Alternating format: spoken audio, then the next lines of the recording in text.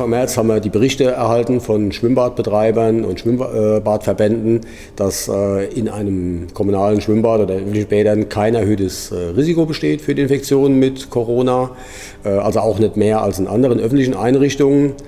Das hat erst hoffen, lassen, aber dann hat man natürlich kurz später das Wort Social Distancing gehört und dann war eigentlich relativ schnell klar, dass wir unser Bad nicht in üblicher Weise weiter betreiben können, weil alles mit Sicherheit hier dagegen spricht, äh, die Nähe zu kontrollieren. Das wäre beim normalen Badebetrieb gar nicht gegangen.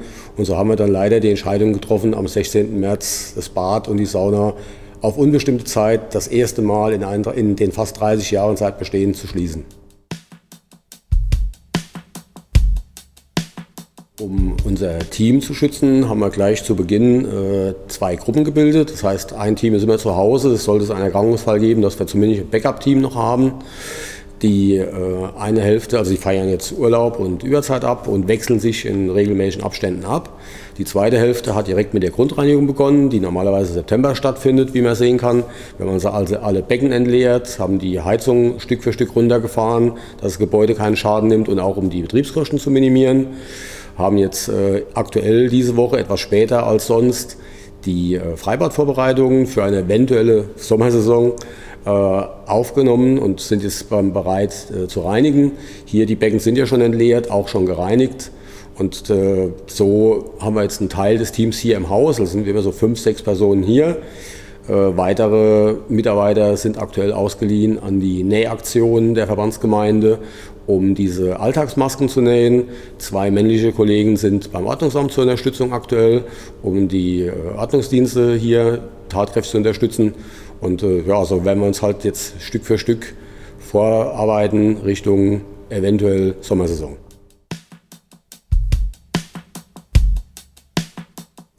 Als kommunale Einrichtung sind wir natürlich haushaltsfinanziert. Im Gegensatz zur freien Wirtschaft sind wir also nicht umsatzabhängig. Äh, ist natürlich trotz alledem, muss man sagen, ist es Azur als größte Außeneinrichtung der Verbandsgemeinde.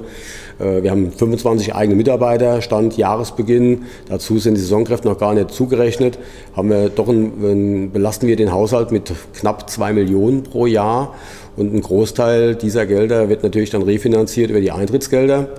Das heißt, äh, wenn jetzt natürlich hier monatelang das Bad geschlossen ist, müssen wir schon mit 90 bis 100.000 Euro Einbußen pro, Jahr, pro äh, Schließmonat rechnen.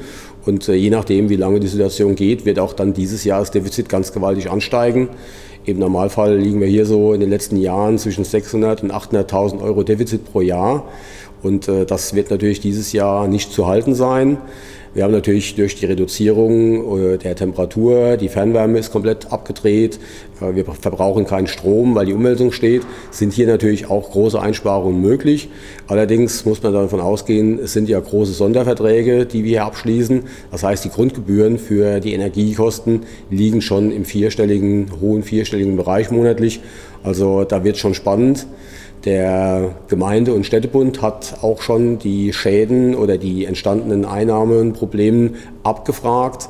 Aber ob von Seiten des Landes hier Hilfsleistungen zu zahlen sind oder irgendwelche Hilfe geleistet wird, das wird man sehen. Oder ob die Verbandsgemeinde das über ihren kommunalen, im Moment noch ausgeglichenen Haushalt selbst schultern muss. Wir planen intern, das Freibad zumindest mal für Anfang Juni zu eröffnen ob dies im Endeffekt erlaubt sein wird, das müssen wir sehen. Zum einen ist natürlich die Einschränkung der Pandemie durch die Kontaktsperre äh, schon wichtig. Zum anderen wollen die Bürger aber auch irgendwann wieder zu einer gewissen Normalität. Das heißt, auch der Sport und das Schwimmen spielt hier eine große Rolle. Und wir hoffen natürlich auch äh, für unser Personal, also für die kommunale Haushaltslage, als auch für die Bürger, dass wir vielleicht äh, im Juni eröffnen könnten. Ähm, Desinfektionsspender oder auch eine maximale Besucheranzahl einzuschränken wäre bei uns gar kein Problem. Solche Dinge sind im Kassensystem vorgesehen, aber das sind alles Dinge, das ist jetzt Spekulation, denn äh, da wird uns keiner aktuell die Frage beantworten können. Wir hoffen, dass wir in den Tagen da mehr Informationen zu kriegen. Aber es wird uns mit Sicherheit noch sehr lange begleiten und ob eine Eröffnung zeitnah stattfindet, das wissen wir nicht. Wenn wir natürlich jetzt täglich hier ins Gebäude kommen und sieht, alles ist leer, kein Wasser in den Becken, es ist absolute Ruhe. Das ist schon sehr, sehr komisch, weil wie gesagt, in den vielen Jahren, die ich jetzt auch hier schon bin, äh, hat man das noch nie so erlebt. Wir hatten keine Schließzeit, äh, auch größere Schäden wurden immer während äh, des Betriebes repariert. Und jetzt haben wir keine Gäste, aber wir sind trotz alledem gut gestimmt und auch bereiten uns darauf vor, sobald es möglich ist, wieder für unsere Gäste da zu sein und auch wieder Leben in die Halle zu bringen.